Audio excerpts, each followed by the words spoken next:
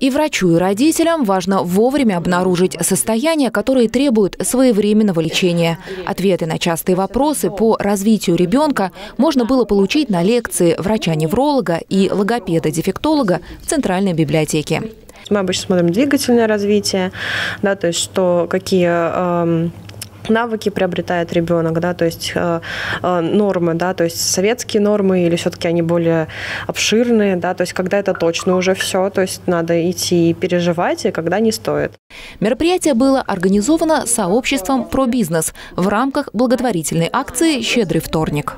Каждый день э, у нас э, новое мероприятие, э, мастер-классы, лекции для родителей, угощения, но это связано да, с правильным питанием обязательно.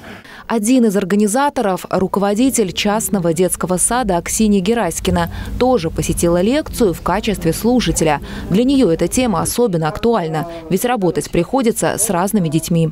Мы объединили предпринимателей да, а, для того, чтобы помочь деткам с особенностями а, развития, с ограниченными возможностями здоровья, для того, чтобы их социализировать, для того, чтобы а, общество не относилось к ним как к изгоям.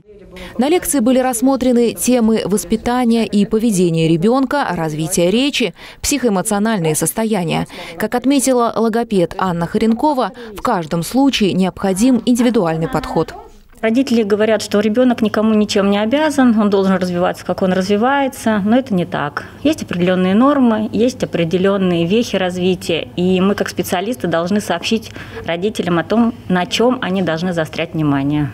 Специалисты пояснили неравнодушным родителям, что многое зависит от возраста ребенка и рассказали, на что нужно обратить внимание на каждом этапе.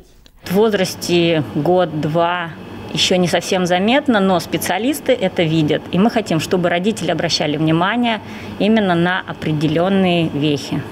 Информацию обо всех мероприятиях акции можно узнать на страницах в социальных сетях сообщества про бизнес. Стоит отметить, что все они проходят бесплатно. Наталья Буслаева, Сергей Ларин, Елена Кошелева, Видное ТВ.